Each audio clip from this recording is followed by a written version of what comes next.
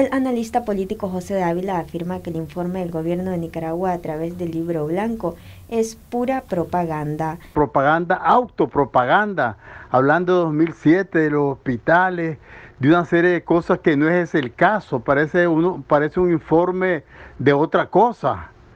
Además, es, algo para atacar, atacando a los gobiernos democráticos, atacarnos a, las protestas estudiantiles. Es realmente eh, lleva la intención de atacar, pero ante todo lleva una situación, una, una intención de disimular lo que no han hecho, de disimular que no han tomado las medidas, de disimular que la gente se está muriendo, de disimular que los hospitales están abarrotados, de disimular que no han hecho pruebas.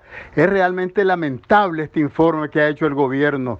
Realmente no sé a quién, a quién lo dirigen, quién creen, pues ellos que, que le va a hacer caso o le va a dar credibilidad a este, a este informe. Dávila agrega que el gobierno debió haber informado su estrategia de lucha contra el COVID.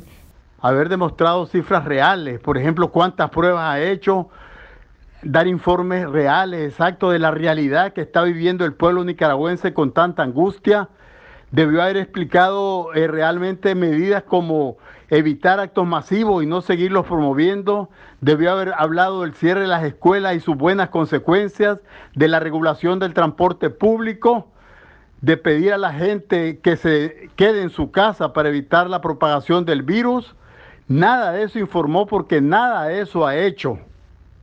Realmente eh, es un informe, ese libro blanco es lamentable porque no dice nada de lo que debió haber dicho, pues el gobierno no ha hecho nada y sigue sin hacer nada. Es hora realmente que comience a decir la verdad de lo que está pasando en Nicaragua, que comience a reconocer sus errores, que enmiende sus errores y tome las decisiones ya de tomar las medidas contra el virus, porque el virus se sigue propagando, la gente sigue muriendo a diario, los hospitales están abarrotados, las pruebas no las siguen haciendo. Noticias 12, Darlene Telles.